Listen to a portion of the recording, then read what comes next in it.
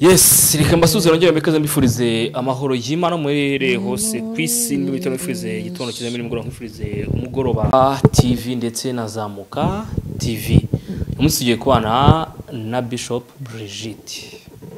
Muraho neza bishop. Hareruya mwiriwe neza.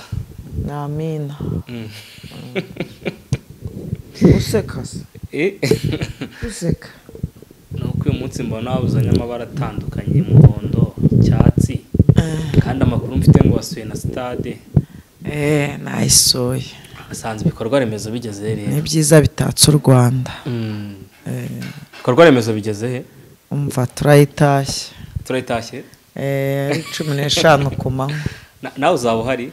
Mfasha sinjye si ndi umunyarwanda ngomba kuhaba nyine. Kuzanye mu mabara ya kiyovu se buri ufana kiyovu. APR? rero ntabwo niyo mbirasi menya aho batsindira. Ngewe naba ngiye kureba sitade. Eh? naba ngiye kureba sitade ntabwo nangiye gufana waba uje kwirebera stade no kuyitaha ku mugaragaro. Eh, ntabwo nangiye gufana rwose nambabeshya Mm. ngewe iby'amakipe ntabwo mbizi si ibyanjye Mm. ngewe mfana indirimbo za gospel. Nk- nk'iyihe? Hari abantu baba bashaka kumva nk'akaririmbo ushaka kujya wiyumvira akaririmbo ukunda kumva. Nk'umukunzi wawe nyine niyo kugira bajya kumva ngewe unakaririmba. mbaza aba- abo nkunda baziririmba. Ibindi nkunda mbonye ukunda ziyari mbonye nake karirimbo ka ziyari mbonye uzi? Nkunda mbonye undi wa kabiri tasiye tutusi. N'uturirimbo twabugiye utuzi. Eh, tasiye tutusi hari indirimbo yahimbye ivuga. Mm. mm, ngo mfata iyo ntoza yawe. Iyo telefone nkakubwire ushyiremo tasiye nkakubwire ntabwo kitwa nemerewe kuyicuranga hano mu kiganiro. Eh ntuyicuranga ariko urakabona wandikeho ngo tasiye tutusi ni nk'uburabyo. Ngo umuntu ni nk'ubu niba umuntu ni nk'uburabyo.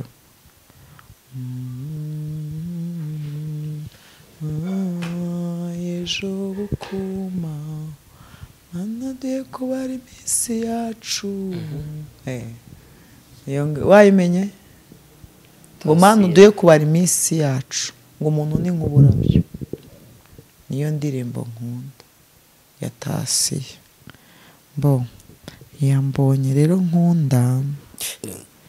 Nkunda Mhm. icyambu. Icyambu. Areba inde ese kuri umusilamu uba uzizi ubundi wowe? Ntabwo se ku buryo nayoberwa indirimbo. Ubwo si izo mvuze urazizi Mm. ni izo nkunda. Abandi ntabwo mbazi abandi bahanzi ntabwo mbazi eh bino birakaze. Mm. nawe bonyine wikundira? Njyewe ntabwo bonyine nikundira. Abantu barabifata bate? Abandi se Mm. Eh, na papa na ntuza. Uwa gatatu ni papa creva papi clever? Eh, baba bari kumwe ari babiri. Mm. Ni abo mbese batatu bari fureshi kuri ngewe eh Eh, abo barahagije. Barahagije naho ncuranga mu modoka yanjye eh. Iyo nashatse gucuranga gospel Mm. nibo mpinduranya mu modoka yanjye ubwo abandi simbazi bivuze ngo ubu uzajya gutaha stade ari zo ndirimbo zonyine uzi ntibashyiramo gospel. Mm. abo bakajyayo nza- nzajya ku bafana ubu ejo nzaba ngiye gutaha sitade uzaba ugiye gutaha stade. Mm, by'imipira ntabwo ari ibyanjye. Uzicara muri vip cyangwa twaba turi muri rusange? Ego mwami yesu. Ariko umwana uzi ko ndi bishopu ariko hari igihe bishop aba ashaka gusabana n'abantu? Turasabana mu buzima busanzwe ariko ngomba kwishyura vip. Mbese ni nangahe vip? Nta kwishyura ariyo. Biranagoye ibigoye wiki si amafaranga? Oya Eh, Mm, arenze amafaranga. Vip ntabwo izaba yishyurwa? Vip Mm. ni ibihumbi icumi. Vip ni ibihumbi icumi? Mm. ibyo uvuga ni ukuri? Ni ukuri. Njyewe narenze ko narenzeho naho na yo ngayo na yo ndakwishyuriye nanjye uranyishyuriye? Nayo ndakwishyuriye n'uriya ndamwishyuriye n'uriya ndamwishyuriye n'uriya ndamwishyuriye. Icumi? Eh. vip ni icumi? Ubwo nyine bahaye poromosiyo y'abantu. Nuriya uramwishyuriye nuriya. N'uriya ndamwishyuriye n'uriya ndamwishyuriye n'uriya ndamwishyuriye n'uriya ndamwishyuriye. Ahubwo abantu bakurikiye cyane bumva bazifuza bakurikiye zamuka tv na yo ni kwa bifuza kuzaba bari kumwe na bishop Brigitte mu gufungura stade ku munsi wo kuwa gatandatu tariki cumi n'eshanu. Eh, ubwo abashaka kwifatanya nawe no kumufatiraho ka serifi cyangwa ka autographe. Ubwo munsi ni bwo bazakubona. Nibwo nzaba ndiyo rwose. Hari abantu benshi baba bavuga ati buriya bishop naramubuze wamuma nkamubona nkamwibariza ikibazo. Bajya babinyandikira. Cyakumuha kubona harya ubundi ninde muntu nabonye yanditse muri komenti Mm, ariko we yabeshye. Eh, ngo naravuze mm. ngo mama sharene ngo ni intwari ngo kandi yarakoze divorce. Reka dusabe abantu bajye bumva ikiganiro neza. Naravuze ngo ni intwari. Mhm. ahubwo w'icyo mbagaye ni uko bavuga ibitarabayeho. Mama sharene ntabwo yakoze divorce. Ubwo rero nkawe wanditse iyo komenti untuka ngo namwise intwari ngo kandi yakoze divorce. Ahubwo uri ikigwari wowe nta nubwo kuri iyi mihanda. Uba ufite amakuru nzuye no kwandika komenti nta makuru uba ufite na makeya rwose banza ujye uba apudeti ku nkuru zatambutse ufashe umukunzi wawe mwita ikigwari ni ikigwari aho arabikurikirana. Mama sharirene nta divorce yigeze akora kuko ntaho yigeze asezerana. Nta tegeko na rimwe rimugonga. Kandi n'uwaba yarakoze divorce ntabwo byavuga ko ari ikigwari ndetse niba we bari bagiye kumufatiraho icyuma we twamwita ikigwari cyangwa twamwita intwari ko yaramiye ubuzima bwe. Ko mwagiye mujyana ibitekerezo biri cipu ubundi se ikigwari ni iki? Ni umuntu umeze ute? Gukora divorce bwe ni ubugwari? Ntabwo ari ubugwari nyine uramutse ubona rwakunaniza Mm. nese rwakunaniye warugwamo? Akuriya mutesi yakoze divorce ni sawa? Ngewe biriya ntukajya umbaza iby'iyo sije ntabwo mba mbizi. Akaba ari divorce tujemo kandi ni umuryango. Kandi uvuga ko uganira ku muryango meri ntabwo nzi icyatumye ayikora ntabwo mbizi. Uwo navuze n'uwo nuba nshobora kuba nzi impamvu yayikoze cyangwa se yansanze Mm. cyangwa yagiye yari akavuga impamvu yayikoze. Ntabwo we nigeze menya impamvu yayikoze rimwe kabiri ntabwo mbizi. Mm. Abantu benshi muri komenti bakugarutseho numvaga ari naho ngiye guhera ikiganiro cyanjye. Reka duhere muri komenti z'ikiganiro duherutse gukorana ku munsi w'ejo bundi. Reka bariho mera ikiganiro cyanjye ngira nti Hmm, inkuru kuri mama sharirene ngiyi. Reka nyihera ahangaha abenshi bagiye banabaza amakuru bitwa vitali bihangane. Turaza kubabwiramo makenya. Pasita Brigitte ndagukunda cyane uransekeje uti nta mugabo ukibyuka hari igikomye ugiye guhera kuri komenti kuri komenti dusesengura kumwe ku uwo kandi nguwo rero uwo nguwo rwose yarakoze kutera ni byo jya wisekera. Rata ni byo nta mugabo ukibyuka iyo- hari igikomye Mm. araza ngo icyo se ni igiki umugore ngo ujya kureba. Mhm. ngaraka Mm. ntaho njya. Ntabwo abagabo bajya ku- ntibakibyuka bisho bajya hese Eh. aho bakijya ntabwo bacyumva igikomye banyweye igikoma oya nta mugabo wanyweye igikoma ariko bashatse banywa cyubaka ngo ni intungamubiri Bu- burya nanjye ndakamira. None se ubwo wowe n'uwo mugabo ureba ukuntu unywa igikoma ufite imyaka mirongo ine n'itanu Eh. ubwo se urumva wowe umugore wawe ujya ubyuka se? Mm? ujya ubyuka kureba igikoma. Nabyuka nkiri umusore se. Eh, rata wowe uranyikundira imana iguha umugisha uwa kabiri ati ni intwari cyane uriya mubyeyi uwiteka akomeze amwagure. Bishop. Eh, ni intwari. Ni intwari. Si mama yavugaga? Yavugaga. Ni intwari. Kurera abana bangana nk'abe muri iyi kigali iyi. nta makuru mufite mwebwe twebwe twarabare- twarabareze bariga barasoza turabibona. Mhm. kurera abana muri kigali ni akasamutwe inakasamutwe ayiwe umwana wa korode ngo ni sakadenge ejo mama shere uri intwari rata Mm, hejuru y'ibyo bakuvuga byose iyo bigeze kuri icyo ngingo no kuko kurera biravuna kurera biravuna. Aha. twe twarabyaye turarira turabizi. Natwe wareze abana wenyine nayizana imana izayimuheremo umugisha natera imbere. Mm. undi nawe aravuga ati bavuga ye koyo we pasi ye koyo we uransekeje. Bishop nkunda we. Amaze yeko ndabyibuka Eh.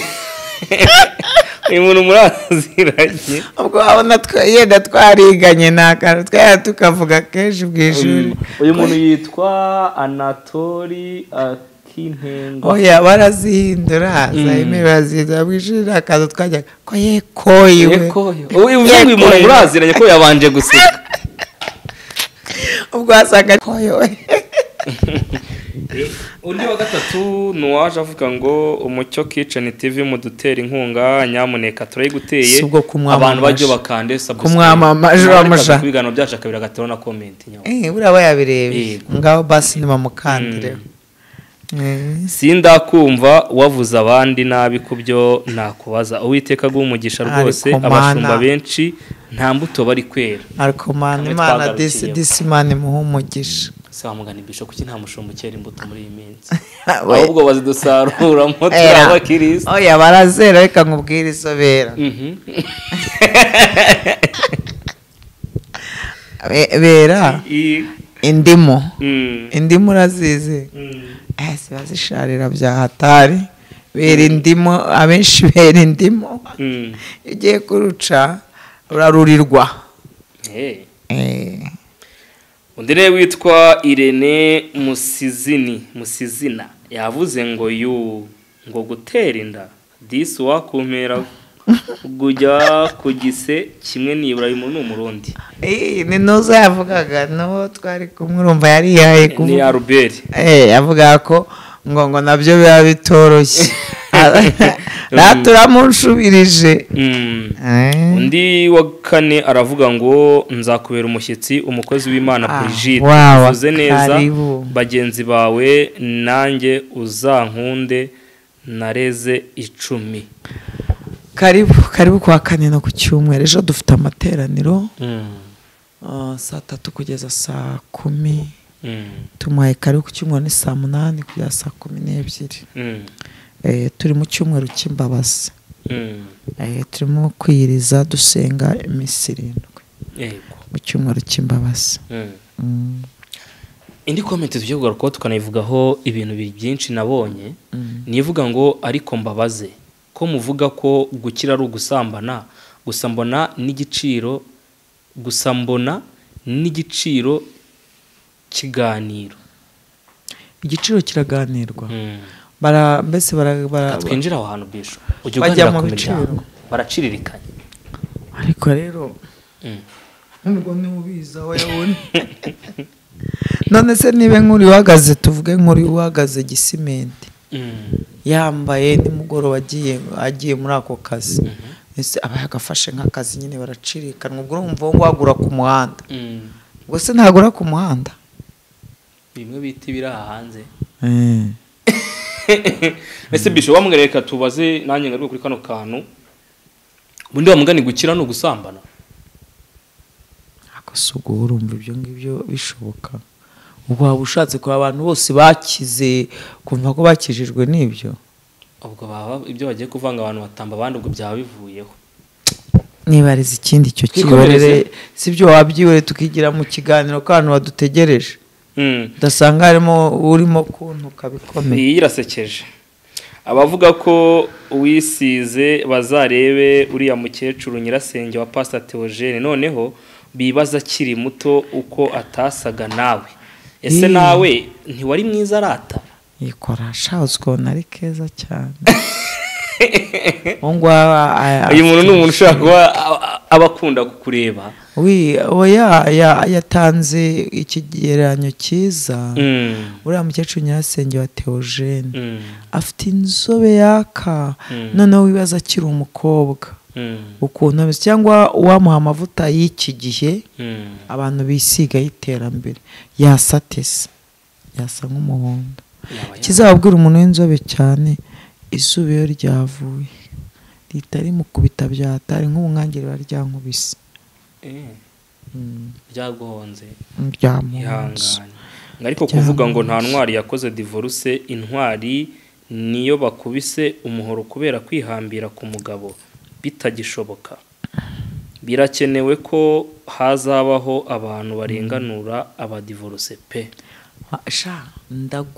Uyu ndamushyigikiye. So hari umwe wa komenti nzireke iyi komenti si uyikunze? Iyi komenti ndayikunze. Wa mugani. Ha- hazagire niba hajya association.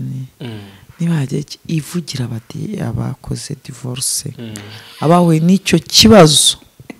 Bakagira basi abantu bamuvugira bakagira abantu ba- babatabariza ko shayo bamaze kuzikora mu muryango babahindura ibigoryi ibicucu bakabona nta n'ubwo bakwiye gufata ijambo. Mm. abantu bose bakabita uko bashatse umubonye asuza umwana wo muri karitsiye ati buriya nawe amukora bya mfura mbi. Mbese bakamutwerera abagabo bose bise Mm. ese undi wamugani bishobora kugira ngo umuntu yihambire ku muntu barigeraho batemana wamugani ntiyari agakwiriye gufata umwanya akafata umwanya akaba agiye. Ya- yazireka kugira ngo bicanega n'abatarazikora igihe ubona ziba zitutumba mu nzira. Eh? ubushize ikiganiro satade yavuze Mm, ngo ngo ingongo nibe ngo ari ukuzisengera. Mm, ngo kugira ngo zidasenyuka. Icyo gihe nacyumvishe numva namubaza ni se ubu ngubu abapasiteri bose zisenyuka ntabwo basenze. Mm, ngo z'iki gihe ni akasamutwe mm. Hari n'abaziryamyemo bihanganye hari n'abaryama hasi abandi bakaryama hejuru hari n'abaryama ibumoso abandi bakaryama iburyo mu byumba bitandukanye hari n'abarara mu modoka abandi bakarara mu nzu hari abarara muri ofisi abandi bakarara hose. Mbese ingo z'iki gihe ni akasamutwe nyine nawe iby'ingo z'iyi minsi bikomeje kuba aka ariko nyine ni ugusenga nk'uko aposo satade yavugaga ariko buriya poso nawe ni- nibimunanira azaba afite ikibazo kuko yavuga isi ishikarije abantu gusenga. Bivuga ngo we rugomba gukomera cyane. Buriya urwe ruri ku mabuye Mm. niyo mpamvu akirebera abantu mu gusenga ngo abazasenyutse nibasenge Mm. sibyo buriya? Uri kuva muri kamera cyane. Banarushye uyu munsi no kugaragara nk'umuntu ufite umunaniro ufite Ndarushye, ibitotsi, kandi ari ikiganiro ugomba guha abantu kijyanye n'amadivoruse n'imiryango. Uyu munsi mba umugabo yifashe kamera yawe nyihaza. Bisho uzi. Umunsi umugore yifashe yarahukana. None ikintu cyababaje cyasekeje abantu. Hari abahukanye se? Eh umugore yaje itonde nkumvishe. Wandese kandi. Itonde nkumvishe ngo iyi nkuru noneho ngo urasinzira urahita usi urahita ubu- ubu- ubura ibitotsi. Tuva hasi tugera no kubwira abantu ko iki kiganiro turimo kugikora nijoro. Nimubona asa nawe mumenye ko ari nijoro. Mbabona sa nabi ni nijoro sha no kwiryamira ariko bishop ino nkuru yari isohotse none aha ngaha yari ikenewe pe? Yari ikenewe. Mhm. ifasheho numve. Reka nze ngafasheho wumve wumve ukuntu ibintu bimeze.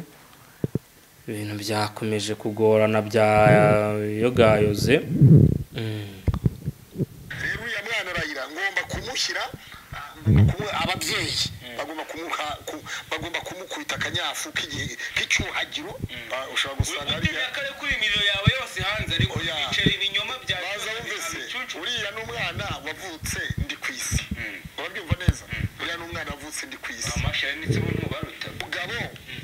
Nyamugabo. Iyi si inyandiko ya mutwara sibo ubu byari bikwiye yahawe kamarade iyi nyandiko.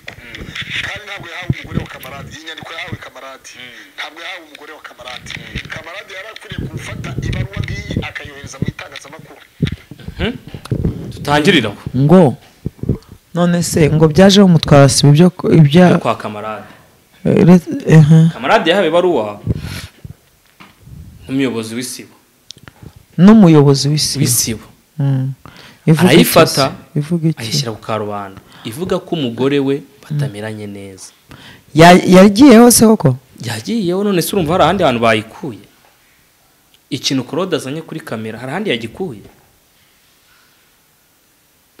Byaje kurangira uyu kamarade noneho ageze mu rugo asanga umugore yahukanye. Bisho reka twirengagize ko umuntu ari umusitari kuri social media cyangwa bamuzi Mm. aha hanze ntihashobora kuba hari abagabo bagira amakosa. Ariko uruhande y'ibyo tubona kuri social media n'ukuntu biri batwitwaraho tubona ko ari intwari cyangwa batuje bacecetse bagera mu rugo bakaba intare. Kuko ndi kwibaza ni gute umugore afata umwanzuro kubona umugabo yagiye mu, kazi? Nk'ibyabaye ku muntu umwe nawe buze kugarukaho agafata umwanzuro agafata ibintu akigendera. Ariko numvishe rwari rwasenyutse kera. Mm. nk'iki kiganiro numvishe kuri bosco empire. Mhm. cyavuga ko hagati y'umugore n'umugabo hararagamo umwana. Hagati ya kamarade n'umugore hararagamo umwana. Ko nacyumvisha bivuga rero ngo urwo rugo rwagiye kera. Mm. nongera nkibaze se undi babwiwe n'iki ko umugore n'umugabo hagati yabo hararamo umwana? Aho ni ho none navuga ngo abashakanye bagira bagira ibanga ry'ingo zabo. Mm. gusa ibyo byageze hanze biti nese urwo rwandiko rwo rwa mutwara siporo rwageze hanze rute ni umwe muri ubwo rwishyiriye hanze. Hari ahantu ruri kuri mediya ni hatari. Mhm. uzi icyo bishaka kuvuga? Biba bishaka kuvuga ngo ntuzaze gucyura. Eh, buriya umugore asahurwa akagenda avuze ngo ntuzaze gucyura. Ndakwanga sinshaka kongera gusubirana nawe. Mm. nawe uzaze gucyura. Mm. ni cyo buriya biba bivuga biba bivuga ko umugore yagiye yafashe desiziyo yo kutazongera kubana n'uwo muntu mu rugo. Mm. ntabwo twashima umugore usahura agasahura n'uburiri. Ni ukuri pe njye nabonye akavidewo Mm. ndibuze no kanyuzamo shambara ntabwo byiyubashye umudamu kabisa wubashye umuntu babanye babyaranye. Icyo yagukorera cyose icyo yagukorera cyose ujye utana n'umuntu amahoro ugende uri intwaro uri imfura. Biriya nta bupfura burimo. Uzi ko inzu yari imeze nk'aho bimutse? Nkajyana mu ntoki ukibamo abonye igikanda isaso yagiye akegeka ku gikuta. Ah, biriya byo birimo n'ubugomesha. Uzi ko yegetse isaso? Isaso uzi ko yegetse ku gikuta? Ubwo se buriya matera ntiyayijyanye? Kandi nyine wabonye yegetse isaso nese ubwo matoro cyayibaza none se ukuraho matera? Ukajya no kwegeka isaso bivuga icyo uvuga ngo uze nawe uruhu uyisubizaho. Eh. si bivuga? N'imyenda yari inyanyagiye ku gitanda. Inyanyagiye ku gitanda. Ese iriya myenda yanyanyagiye ku Ni gitanda mu ntebe. Ni mu ntebe? Muri saro waya mu cyumba. Nyamara ni muri saro mu cyumba ko uko nabonye hari ahantu hari hamanitse imyenda. Habonaga hari imyenda imanitse nko hejuru ku gikutara. Mm. meze biti ni byo? Imyenda yari imanitse reka ndebe neza imyenda bayinaze muri saro bayinaze muri saro Mm. nta hantu mu cyumba imyenda yari imanitse? Reka ndebe neza ntabwo ndacyitegereza akavidewo gusa icyo mbona uriya mugore ntabwo yabigenje neza. Ibyombo byo mu rugo byose yajyanye. Ntabwo uriya mugore kandi nabonye hari ibirahure nabonye hari ibirahure mu bingahe harimo ibikombe bya purasitike kimwe bibiri bitatu yerekanye na n'ikirahure kimwe. Buriya rero uri umugore ushaka kugenda neza. Mm. uko mbyumva burya wanakoropa ukanasasa. Okay ugakora Wow, wowe imyenda wayibonye? Yayinaze ku buriri koko? Naze ku buriri nabibonye yayinaze ku nabikurikiranye. gitanda yamanuye amavarisi arikurira. Eh, bivuga ngo buriya umuntu mwashakanye Mm. ntabwo wagombye kuba umwanzi we. Mhm. niyo yaba yarakubabaje akajana niyo yaba hari ibintu utumva hari ibintu ukora ukabona ntabwo byari byiyubashye Mm. buriya yakabaye akoropa akamusasira sibyo Mm. yarangiza akigenderamo niba ashaka no gutwara ibintu Mm. hari igihe ushobora kuba ugiye gutangira ubuzima nta bintu ufite kandi ugasanga kubitwara n'imiserero yenda yagombye nawe kumusigira aho aryama uretse ko gusa kuhura urugo bihanwa n'itegeko ariko abenshi ibintu babyise puranka Mm, Mm. Ntabwo mbizi ibyo ngibyo. kwibaza akamara dukina puranka ajya gushyira urugo rwe rwose n'ibintu bigize inzu ye n'ibiki Sha, byose ku karubanda n'ibitanda ntabwo ari puranka pe niba akajya bafatanya umuntu n'ibibazo ntabwo ari puranka Mm. kuko ntabwo ahubwo nibaza iriya kamera se ni iriya videwo niyo yayishyize hanze ino video byanga bikunde ni kamarade yayishyira hanze ageze mu ndasanga umugore ntawe uhari arafotora ubwo nta buzo yakoherereje nawe akoherereza nawe ahita abandi. akoherereza uti ntabwo ari puranka Mm. gusa gusahura urugo bihanwa n'amategeko. Mm. niba barasezeranye bihanwa n'amategeko kuko urugo ntabwo rwari urwe wenyine. Mm. Eh, yahanwa n'amategeko. Ntabwo gutana n'umuntu bivuga kumusahura. Mm. oya bihanwa n'itegeko kuko ibintu murabigabana. Ese ibintu bigiye kumera nk'ibyabaye kuri wa muvandimwe wanjye bisho uwuhe? Ku mpemburo. Ah, vitari. Harya umugore we nawe yaraje ntiyasahuye asanga umugore yagiye. Yaranasahuye nawe Eh. nawe ibintu ntabwo byose yabuze nawe yafashe amajyambere amwe arayatwara. Ariko noneho abagore bafite dayimoni ibintu ni ikibazo. Nabyo urumva bimeze kimwe n'ibya vitari na vitari yaraje yavuye mu kazi asanga ibintu. Ariko sha reka nkubwire umuntu ugutwara uzi ugasanga yagiye. Aba amaze iminsi abitekereza. Ongeraho ko aba amaze iminsi abitekereza. Ariko wumvishe ko kwica umuntu byoroshye. Uribaza uwo muntu ugusahura iminsi aba atekereje kugusa kugira ngo asahure agende. Urabyumva? Edera anasahura. Yaramaze kumenya aho azajyana ibintu. Niba ari n'inzu aba yarayishyuye. Niba ntazabibitsa aba ahazi uretse ko ntawakwemera kubika ibintu by'urugo rw'abandi. Ubu ngubu usigaye ujya gusinyirwa bakagutiza umuhoro. Sahuruza Eh, ariko bishe umuntu w'umugore yakiba agafuka k'umuceri ntibakubwire ngo bake se we abantu umugore n'umugabo uzi icyo ari cyo cyangwa urakina mu bwana wo? Abo- we wabika ibintu by'urugo rw'umugore n'umugabo? Wanabiguze se ahubwo ugafatwa ukabona ko bata- batabikwambura ugataha zero no kwa vitari niko byagenze ko vitari ko yavuye mu kibuga.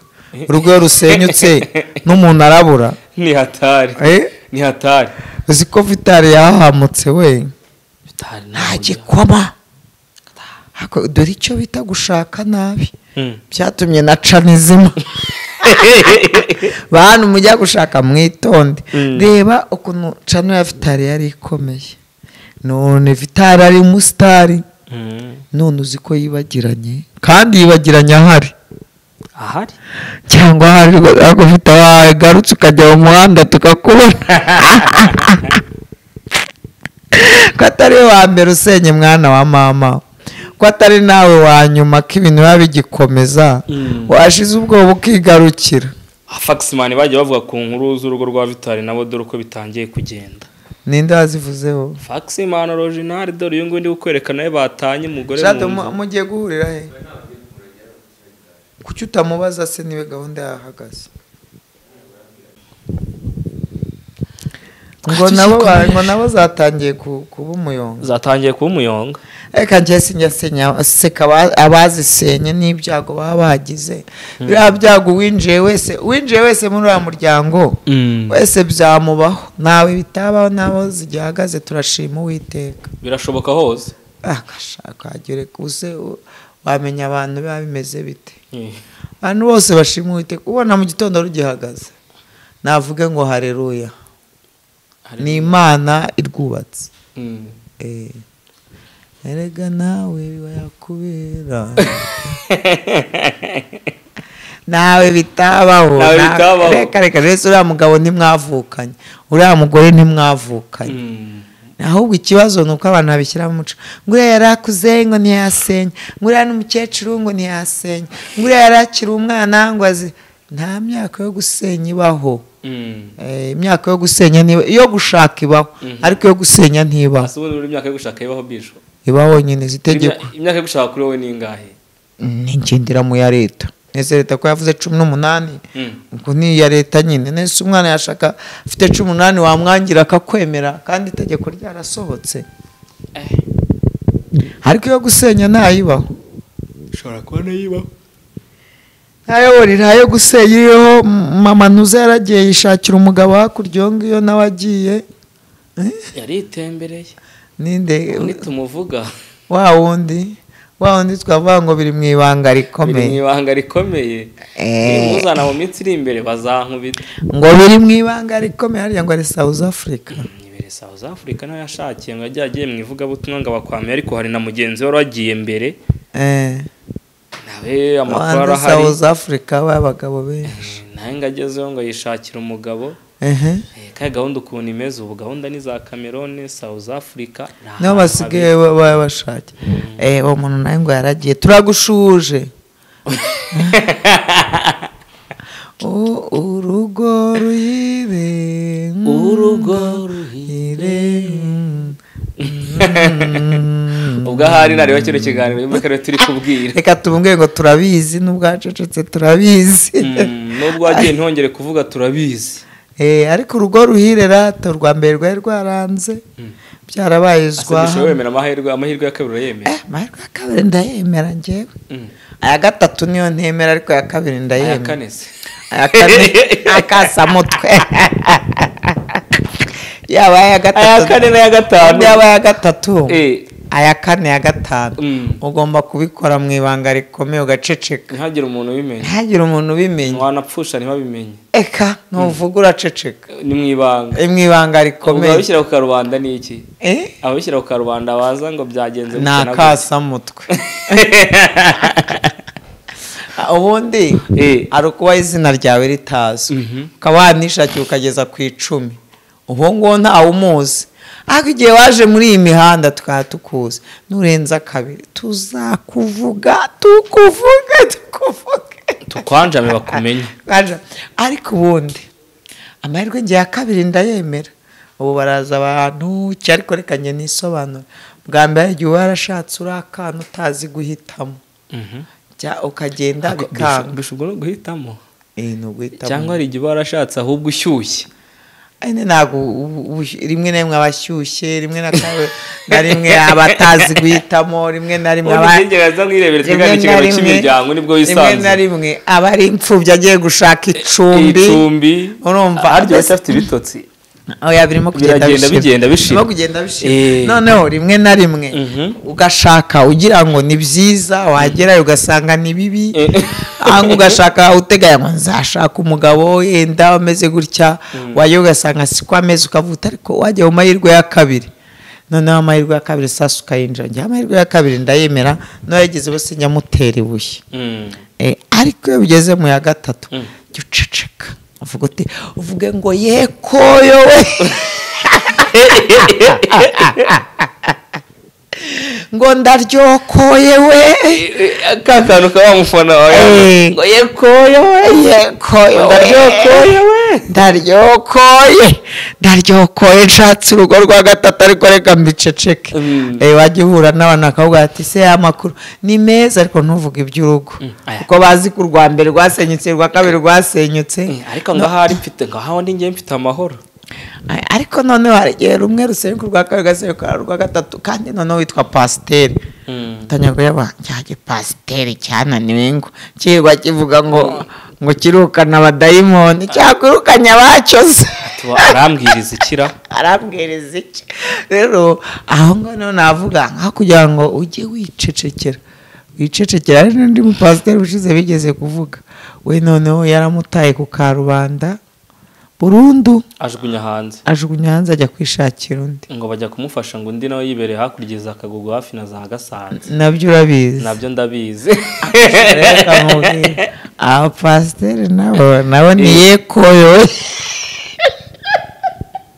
Ah, pasiteri dufite muri iyi minsi ntabwo batuma dukizwa.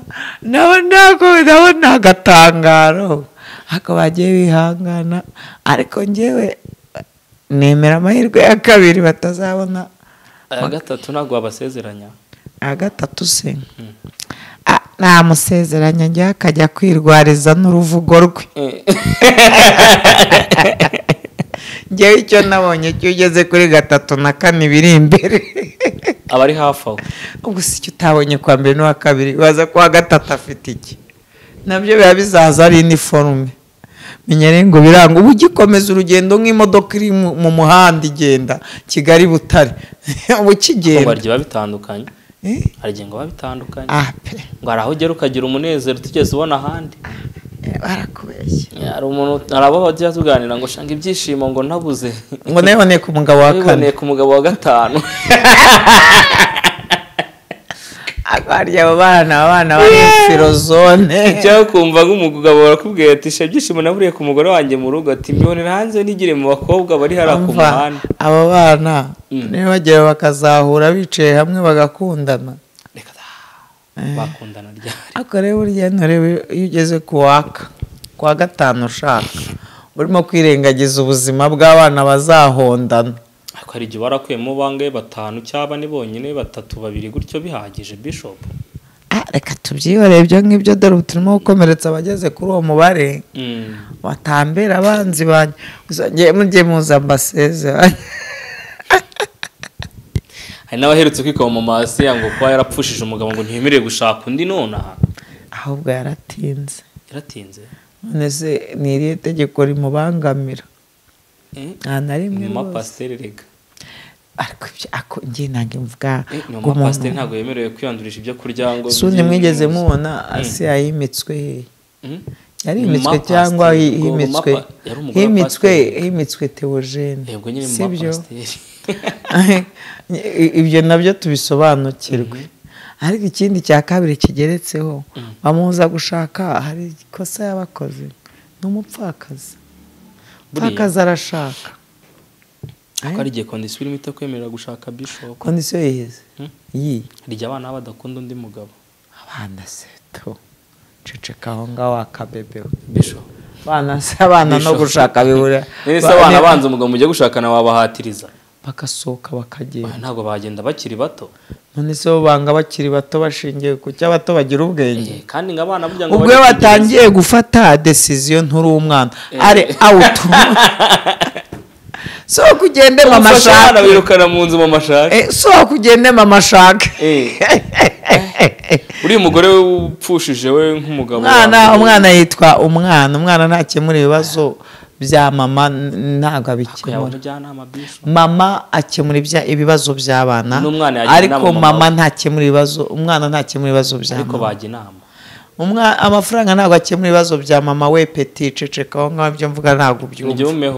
Ceceka aho ngaho umwana watangiye kumenya ngo mama yo gushaka. Ari awutu sohoka. Genda. Ijya kwirwariza mwana wawe. Eh, ubwo wamenya ubwenge watangiye kuyobora mama kandi uramuyobora mu nshingano udashobora gukemura. Zitari izawe. Navuze mu bu- mu- nk'umuntu mukuru. Mwicare mwige mwabyana wicare bige basohoke bareke ba mama bagere ku gutangira icare wige umva Aha. ngiye kuzana agakayi. Agakaye n'agakaramu. Eh, bicare bige ba mama bagere ku rugo rwa cumi. Mhm. Eh, ku rugo? Rwa cumi. Ari ukwicara ukiga gusa uri umwana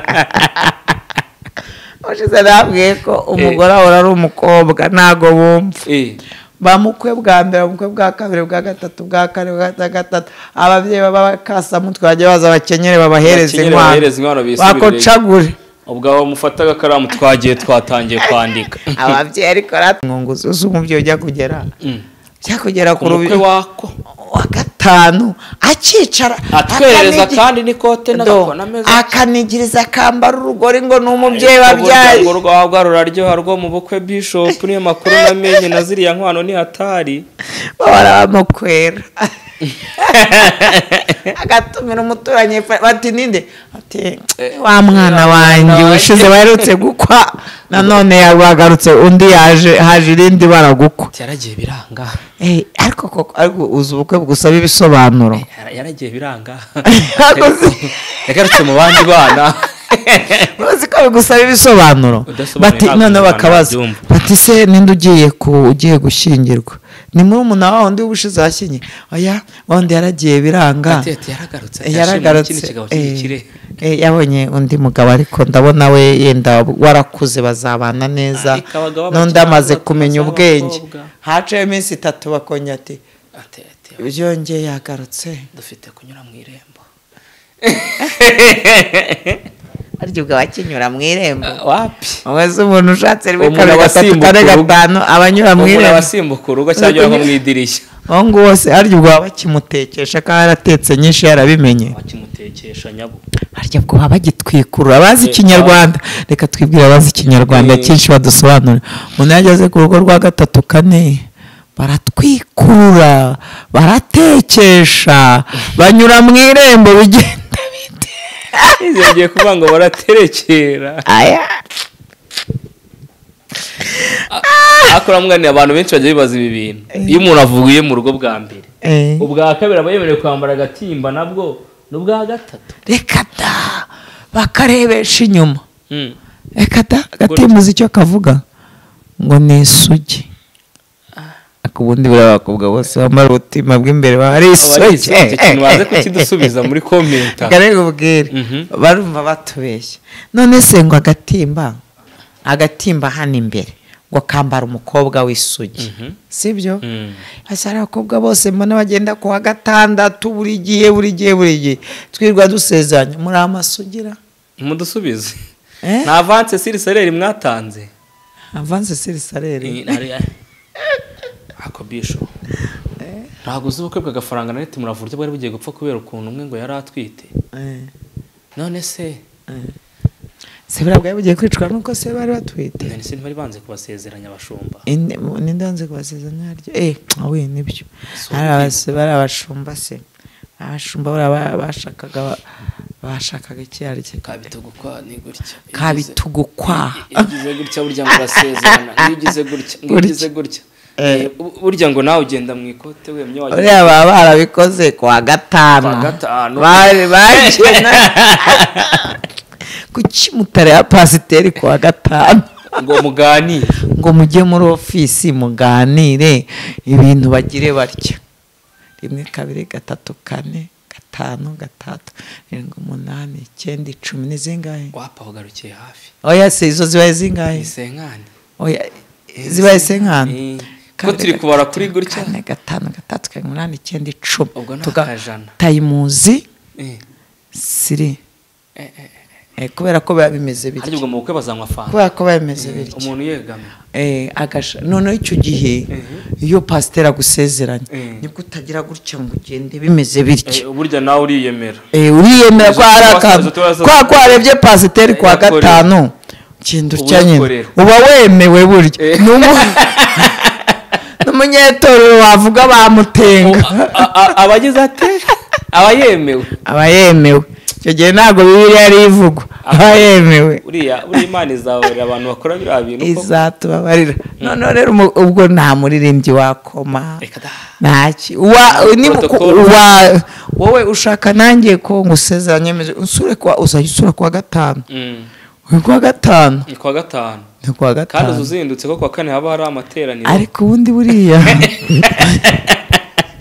Ubundi buriya ubundi buriya. Eh. mbere yo gusora invitasiyo ugomba kumureba mukicara Eh, muri ofisi mukaganira neza. Biracyari muri ofisi se? Eh. ofisi burya ngo abantu bari gukora ni muri kofi ni muri kofi burya ngo mujyana ku gakofi shopu ku kofi shopu kare abantu wiherereye mukajya mubeshya mu gihe mu- muri diru z'akazi. Kandi burya ngo ntabwo wakiza umugabo eh. Eh, ngo haza umugore rero bimeze gutya burya ngo aza ati bacu baranyishe. Eh. Ati Uyu sinsinzira." utabigize gutyo utabigize gutyo. Ni kwa muganga bagapima. Turazipima. Turazipima. Mm. tuzijya bakazipima ariko wowe udashaka ko bazipima ujya usura pasiteri kare witambuye hakiri kare. Ugire gutya. Bigere ku icumi byahereye gute ku icumi? Dukube gatatu. Ariko ayo ni ifatiro. Utazajyana ukagusubizayo hari n'uyashyira akubwira ati ibyo byo kurya byanduye wapi? Eh hariho abagihagaze ku rufatiro. Ku rufatiro rw'imana na dogitirine muri iyi minsi. Eh? Muri iyi minsi ku rufatiro. Eh barahari batasesema inanga yahanze boya genda pasiteri babaho kubera imana. imana wagabanutse. Oya Eh. ntituvuga ibyo. Ni- kubera- iyo tuvuze ngo harimo abagira batya bazakagira batya. Twavuze abasese abanyuze mu irembo. Abapasiteri babaye kubera. Abanyuze mu irembo ntabwo wamusura ku wa gatanu. Reka tukagendanemo neza nka pasiteri babaye kubera. Aya atajya kuzana ibidusebya ariko nawe ntukajya ushaka kumena amavuta. Abantu umunsi ka pasiteri abeho kubera imana reka zimugira akantu kuba mbumvisha turiho ni ukubera imana kuba twambara ni ukubera imana. Mm. rembe kibaza ariko shaho. Aho ugiye kuzana iki? Eh, akantu ngiye kuzana se gashaka kudusenya cyangwa gashaka kutwubaka? Karabubaka. Karatwubaka. Si kubizi nabasenya atazadusenya ndabakunda. Atazadusenya ntago nabasenya rwose. Ariko ko- ariko reka nkubwire we Mm. ntimukadusenya. Gusezerana muradushaka gushyingura muradushaka kubyara muradushaka ibintu byose pasiteri abihagararamo. Mujye mutwemera nidukora n'amafuti umenye ko twarashwe na satani kandi tucyambaye umwenda w'urugamba. Mm. hanyuma ubu na hano ni mu mbaraga z'urugamba hano. Ahangaha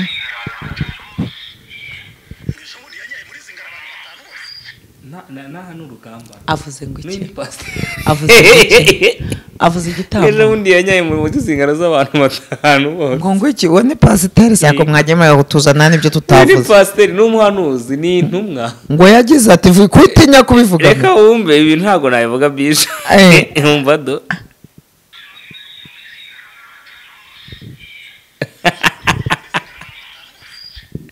Ntabwo nabyumvishe Ese urinyujije hasi?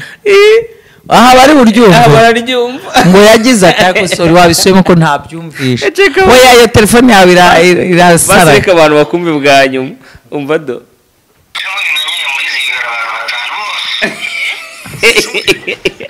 ngo ngo yihagaritse. Ejo bundi yajyanye muri zingara abantu batanu bose. Niba kunyara abantu muri zingara ni ukugira gute? Eh, ibyo ni akasamutwe. Uyu ni pasiteri ndamukiriza turuwasa oya azazanga ntusuzugure amavuta uwo ni bishopu ntabwo byari bishop wabivuze ibi byavuzwe n'umuhanuzi.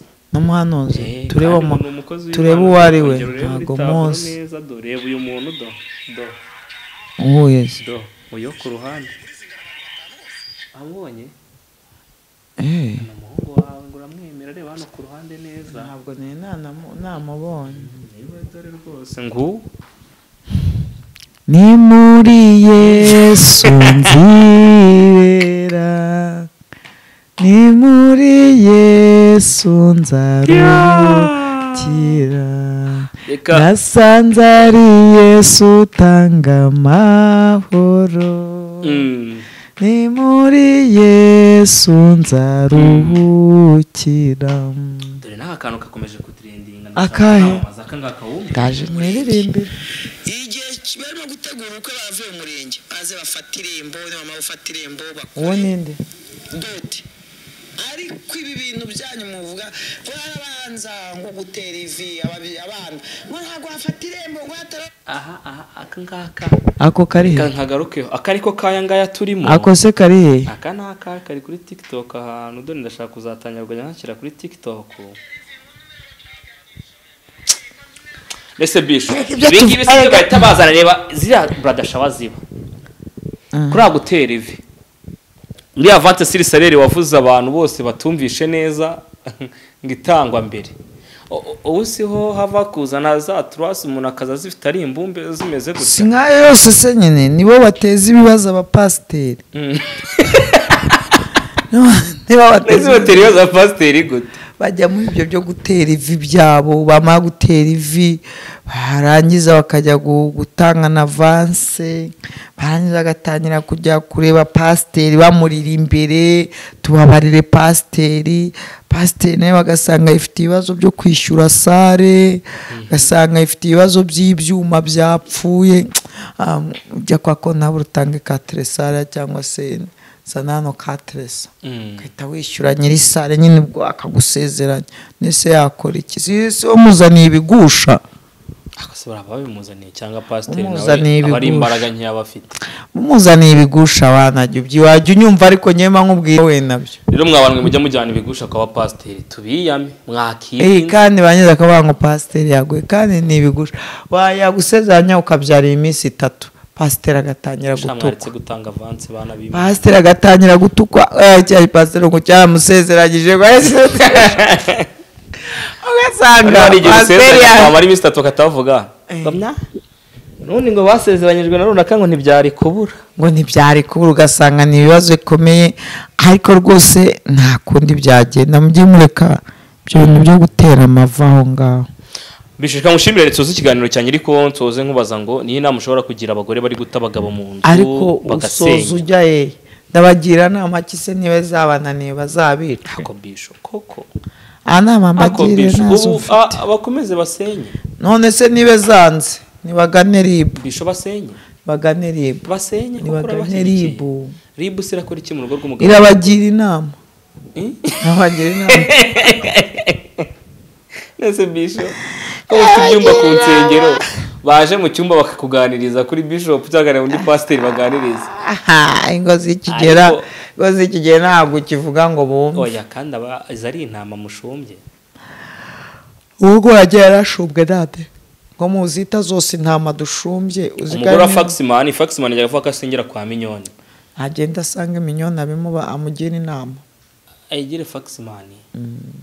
Eh faximani afite ibibazo nyine Kuba nanjye imbere nese- minyoni avuga ngo iki nese- none se si umukristo wenyine Eh? si umukristo we Eh, ni umukristo nyine wese. bavuze ngo turagira nama ki abantu basenya ingo buri muntu wese ntaga n'umushumba we Eh, n'uyu ntago na minyoni niba ari we mushumba we nyine aragenda amubwira ibyago yagize eh ese ubundi umbwiye ngo fakisimani ni uwuhe ko reka ntamuzi mukwereka kuzi kwa mugani niba ntabwo nibagiwe muzi uvuga dore n'uyu uwo ni uwo nyereka tere ni we eh uwo se si we bita kamarade. N'uyu eh wari uvuze iryo sinarimenya yitwa kamarade. Faximani original. Ah kamarade niryo narinzi. Ahubwo sha ibibazo bigwira abagabo nihangane. Abagore bigaramiye. Ase buriya ni byo koko azi uyu gutaha. mugani uyu mugani bawuciye nabi bisho ibibazo bigwira abagore bigaramiye. Na oya n'abagore bijya bibagwira. Abagabo bigaramiye abagabo nabo bigaramiye. Ariko yawe niba uzi gutaha uvuye ku kazi. Eh, yenda uje uvuga uti ndasanga madamu yatetse. Uturaya yenda ndaje nyine nk'umugabo mu rugo.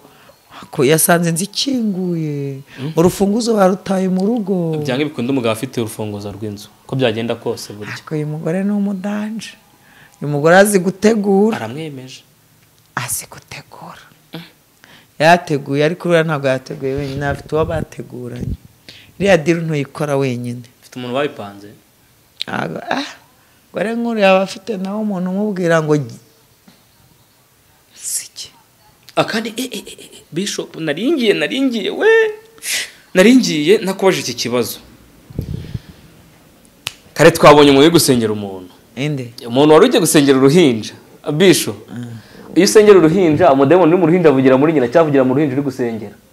Ha, uruhinja nta mudayimoni rugira kandi bavuga ko uruhinja rufite umudayimoni. Eh, baroroze ngo rutameze neza ngo rufite ibintu rukorana na byo. Urwo ruhinja ntabwo rwaba ari uruhinja. None se ubundi bisho bwo aba ari uruhinja. Uruhinja rukaba rufite umudayimoni. Umudayimoni uri mu ruhinja yavamo akaza kuvugira mu reka wenda tu- tufate twegisipoze ko ukajya kuvugira muri gidase? Reka mvuge ko ari wowe wenda ufite umwana mutonya mu gihe mu rusengero. Bari bateguye. Uwo mwana yakuvugiramo cyangwa uwo mwana ni we wamuvugira cyangwa umwana yakivugira? Ayo ni umuteguro bateguye. Pasiteri wihangane ndakwanika mu minsi mike. Ntabwo aramenyekana ntabwo yajya hanze. Turamwanika agahita avanga agiye kuturega? Uyakuramo abantu miliyoni ariko mwihorere. Oya, ntabwo muzi uwo ari we ariko ntibyagenze gutyo. Eh, yari imiteguro ni diru tekinike. Ariko umuntu wese ufite ubwenge kameme yabona ko ari umuteguro none si wowe uzarwara malariya ize muri njye ari njye baha ibinini? baha ibinini. Ariko ariko yebana- imitwe iragwira we. Harya waravuze ngo bakore amaboko mu mifuka. Eh? Ngo bakore amaboko mu mifuka abapasiteri bakore amaboko mu mifuka bagira bate? Bakore. Kandi bafite biro. Hari igihe muzakira muri biro ribu mbisa mbihorera indimi yavuze nimba zibaho. Reka nkubwire ori. Nimba ari izo pe. Ori reka nkubwire. hari igihe bazashiduka uwo barimo kuyaca ari umuribu Eh, wicaye imbere yawe zaturasa nazica zice nabi Azica- araramye akazica zisubiza nabi hari igihe Azica bamu- azigera rya tirewe iravuze arimo kubwira umuribu wicaye imbere. Nawe afashwe.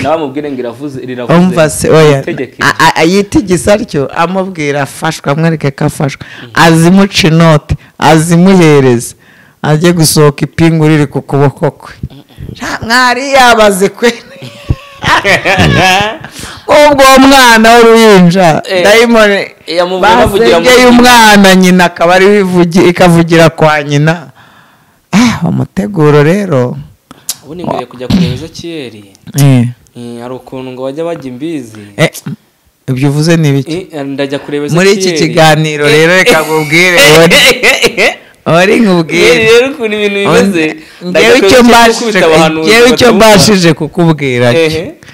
Bategure. Niba berekwa berekwe cyane. Eh, hari abo bazatera urucundura rukabagarukira. Rumurobe yarazi kagenda rukakuroba cyangwa ugasanga wabwiye kugenda n'imbago. Imbago, a- agiye aje kukwitwarira aje n'imodoka. Kukwitwara n'imodoka. Eh, wamubwiye ngo agende n'imbago? Umva akavuga ngo ugende n'imbago akabikwemerera akagenda na yo urumva? Mm, cyangwa se akamubwira ngo ninjya kwirukana abadayimoni usakuze. Akakwemera Ati, agasakuze. Ni nanjye barimo ati ninjye ndihembe urumva? Bikarangira wa muntu uje gutwara n'imodoka ukibaza ko kavuga eh no, uyu ni wa wundi twapangaga diru. Rero ibihumbi senkari iyo mbise ariko ntari n'abari bitanu bigasoza akweretse ko atari mugenzi wawe. Yaje kugira ngo asobanukirwe ubusikama bwawe neza. ubusikama bwawe ariko jya uvuga ubusikama Ni- n'ubutekamutwe nawe uteka mu- rero hari abantu bazayaruka. Ubwo iyo ndangije aho ndavuga ngo kura amaboko mu mufuka ukore. Eh, ejo utazashiduka ejo utazashiduka. Uyarutse kwa bishop agasanga ari amwikarakete yeguramo amashashi atatu. Akushangiye hagize uza akanyegurira amakaro. Cyangwa imisego y'intebe ugasanga arimo arayikata ngo ni ho babishyize. Njye hagize uza akanyegurira amakaro cyangwa akancira intebe ngo arabeshya ngo hari ibintu birimo. Barayegura se ntibayegura Eh, njye na- iriya ngo parafiro akomeye bayishyiramo itindoda ariko baba bagendanye amapiki biba byageze ibaza umuntu ugera hazana itindo mu rugo rwawe. Ah, ibyo bintu uvuga shaho. Eh, bene wacu bazakumerera nabi. Bazaba bamuhaye ubusa bishop ariko ntawe tuba twavuze izina. Ntawe. Ahubwo n'ibisuzuma bakibona ahubwo tuba turimo kubagira inama. Ahubwo yanjye nkamwereka inama y'uburyo azajya abigenzamo umva ahubwo twabagiraga inama ngo barye akagabuye kuko ejo bazashiduka. Imodoka iparitse hariya. Sha muze mbagire inama mbere y'uko tujya gushaka amafaranga muve muri ubwo butekamitwe hari ugeze kuyarira niba ari mu butayu kwa masasu. Ajyaga yarira mu butayu bakayarira samuduha bakayarira ubu ngubu basaze mageragere. Ni ukuri kwa mungu basaze kandi bazize ibyo ngibyo. Rero hari abantu bakina na byo. Ngo imana yabatumye. Eh, Imana- ibatuma mwabagenzuzi mwe ba satani mwa bakozi ba satani mwe. Dayimoni abavuye mu mwana agiye kwa nyina. nyina bwo niyo wavuganye wavuze ari dayimoni Eh, dayimoni irimuka. Eh. buriya yari yimutse. Eh, yari yimutse. Dayimoni yavuye mu ruhinja. buriya yavuye mu ruhinja. Ijya muri nyina. Umwana uhetse ukuntu dayimoni icyo kinyarwanda ntabwo kiri wa- sawa uvuze. icyo kinyarwanda uvuze ntabwo kiri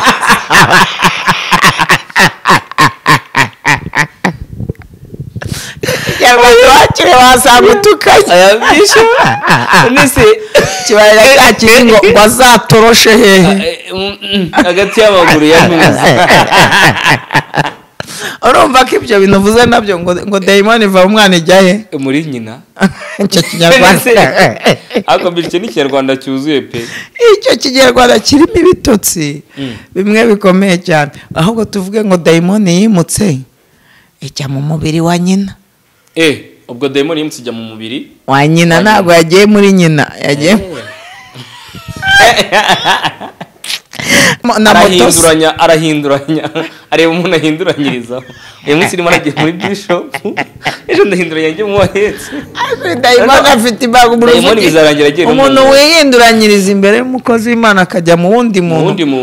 ibyo babyita imbere. Nimba babyita transfer. Mane cyangwa transfer man dayimoni ariko ako kantu kanguse no no ibaze kuzi kuri guteka ibitwe muri ubwo buryo ukavuga no mu ndimi.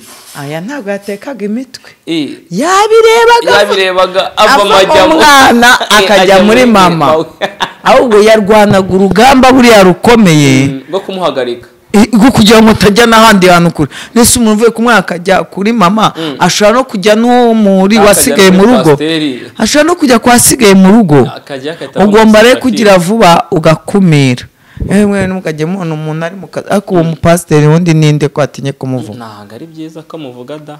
Mm. gusa njye ntabwo nabikurikiranye niyo mbyumvanye Ngi- ngiyo muvuze ngo mujya ngo mwiyungira ahantu hakomeye. Reka njye sinifuza kuziyungira n'umuntu ahantu hakomeye nanze miliyoni y'amanyarwanda nyabo. Ntabwo biri mujye sindeze kiyerere utanga. Miliyoni y'amanyarwanda. Ntayo mfite. Utanga yikiza Hmm?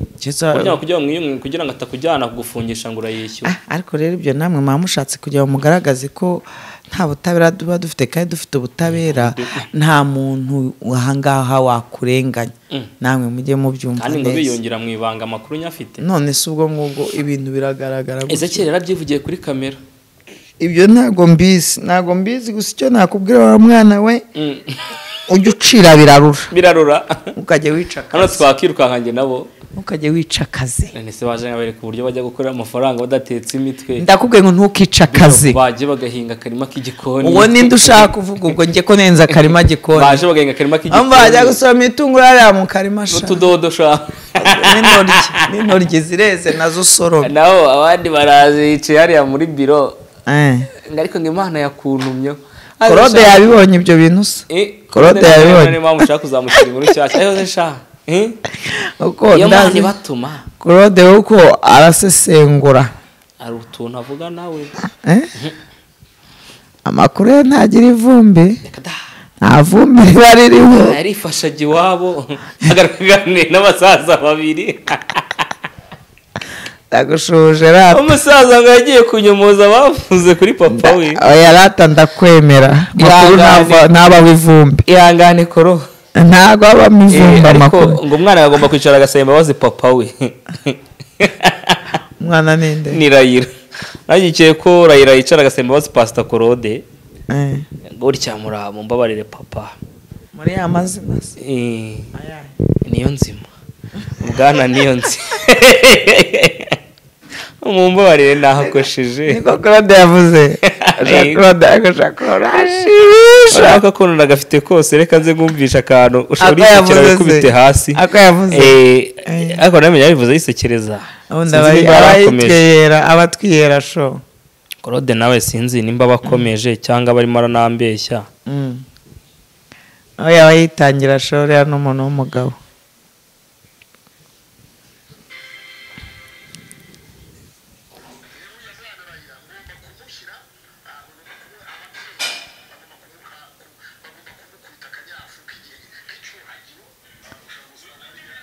Wabyumvishe rero ngakwiriye kwegera ababyeyi bakamubita akanyafu erega bose nta wanga bose nta wanga undi ni ukuri nta koko. ni ukuri nta wanga undi bose. Nta nta wanga undi ari rayira ntiyanga claude. Mm. ari claude ntiyanga rayira Mm, Mm. ni abavandimwe oya nta kibazo baba bafitanye. Nta kibazo. Bisho kanigarire ku musozi w'ikiganiro cyanjye. Mbwira abari badukurikiye mubwire ngo mwakoze kubana natwe mu kiganiro ko waje cy'iri utambaye inkweto. Ndazifite hano ziri hano Bisho ushaka kunsebya so bazita bodaboda ziranaga ari bodaboda bodaboda ni izindi azumvisha wari ugamije kunsebya cyangwa izo bazita bodaboda ni ukuri papi hari umuhanuzi nawe ngo aherutse gusenya urugo rw'umugabo ngo yarahanuye baramubwira ngo ntago uwo mugabo ari uwawe ngo ngo ngo ngo umugabo ntago uwo wawe. mugore ari uwa a- akwiranye n'uwo mugabo mbese ngo imana iravuze ngo ngo bazatandukane umugore ahita azinga ibye. Mm. yabanje amujyana mu butayu kabiri gatatu gatatu kane. Bya bindi nyine biba birangwa. None umugore ngo yarasenye. Mu minsi mike Mm. turaza kuzishyira ahangaha nawe. Izo ziraba zije? Eh, ziraje. Kandi uwo muntu wabikoze arazwi Cyane inkuru ni ziraje nshyashya bitonde iyo ndayizananye ivi muvi n'umuzingo Eh, ziraje vuba ahangaha ikirego cyangezeho. Cyakugezeho? Eh, nk'umushumba cyangezeho. Amakuru urayafite? Eh, ndayafite. Umugabo yaje ambwira yuko umugore yagiye kubera umuhanuzi. Mm. ariko nkangiye urabizi. Ni uguhita amubwira ngo banza ujye muri rib ko waba ari umusikama. Ikiganiro twagikoze ari ikiganiro kirambuye bisho Aya, nzazana umugabo n'ubu bengeye kubwira. Nzazana umugabo aduhe ikiganiro. Eko mwami yesu. Mm, bitonde bagende gucuruza bagende gake ni ugucuruza kandi nta muntu ugomba kubeshyera undi nyine. Mm. sinya nasebanya sinya mvuga n'umuntu ngewe reka da. Mm. ninde navuze? Bivuge wabyumvisha ko no muri komenti se babishima ninde navuze? rata niba ari n'uwo navuze mbabare ubwo ururimi rwawe rwanyereye rata reka mbabwire Bi- ugiye kubivuga? Ya. Oya bivuge nta kibazo.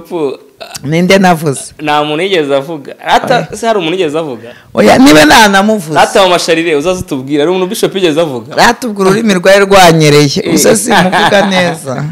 Bishop reka ngushimire nkwifuriza ijoro akoze reka manza avuge ko ururimi rwari rwanyereye aya rero rwanyereye ntabwo ari umuco wanjye kuvuga abantu. Ah, ah, ntabwo ari umuco wanjye.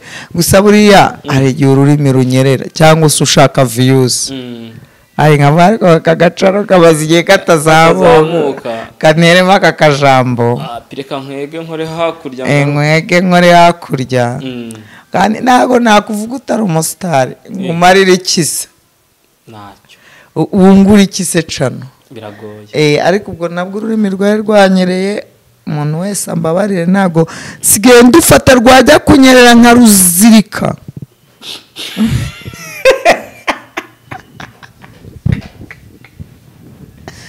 arazirika ntabwo rukinyere ariko shawuri sinweri zirashaje ntuzongere kumpa ikiganiro narazikuraho. Yego. Eh zirimo kunsebya. Rata mu mbabare zirashaje ndimo ndasa nabi. Azihinduze ubwo abantu batwumva bishop ashaka guhinduza in- ni intweri naya ntabwo nshaka inkunga yo kumpindura ntabwo izi tuvuze nanjye ko baguha inkunga ahubwo bakwereke sitayiro nshyashya wasuka Eh, ahubwo sitayiro nshyashya ni njye ugomba kuyizana nkayibereka.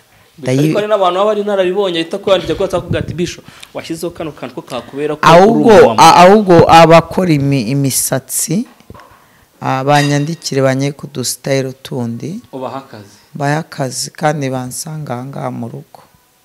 Mbereke banyereke ba- ba- bandike ari nka batanu hano mu rugo.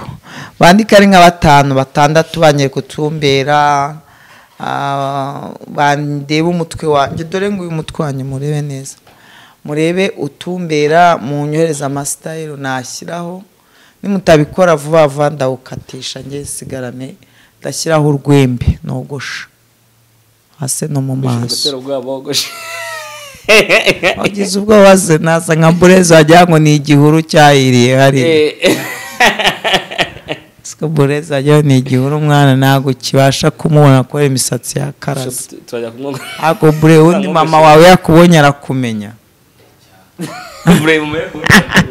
Arakumenya ubwo. Ibibazo byayo cyane nka burezi kikagira ibisatsi bingana kuriya wajya bipima ibiro bitanu. Mm. Wahita ukirukana mu rugo ahita anyibwira ngo awuto out. Oye koyowe Yoo! abantu twaba nyine mu kiganiro cy'uyu munsi reka mbashimire mbifurize. Sinsobe bwa gatatu. Ubu none ngiye. Ariko kugira si ibirori urajya byiza. hehe ko abiringira uwiteka bameze nk'umusozi wa siyo utaje kunyeganyeza Eh, reka rero tubasezere tubabwire ngo bagire ijoro ryiza baramuke. Shamana tumaze kurya ubugari n'isombe bya hatari ndahaze ndananiwe. Mfite ibitotsi none niyo mpamvu mubonana nikoreye amaboko.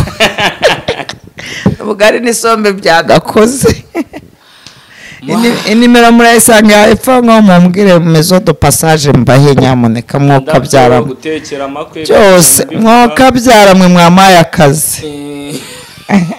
Eh. Hariho umuntu ariko wakasabye guteka abantu baba- babandi dukorana muri izi hoteli muze tujye guhaha ikabarondo karenge mureye turajyayo rya rero nta gitutsi kirimo karenge mureye karenge mure. Karenge mure. Eh. Hapi ntacyo nta kirimo? Mm. mure. Bazampa avanse vuba ngaha nzaguha. Nzaguha. Eh Eh, nzaguha vuba ngaha ni umuntu wo hanze w'umudiyasipora wampaye ikiraka ahubwo mubwiye ko dukora photography na ubwo uzi atajya ku ruhande. Si ubwo ngubwo ntababireba ntabona ukuntu muba mwamfotoye nkeye ntababibona se nakorwe ku maso Ujya atereka ngewe mu mbabare mpaza ubugari kabisa. Mu mbabare numva nanasinzira. Niba naho ururimi rwanyereye amusore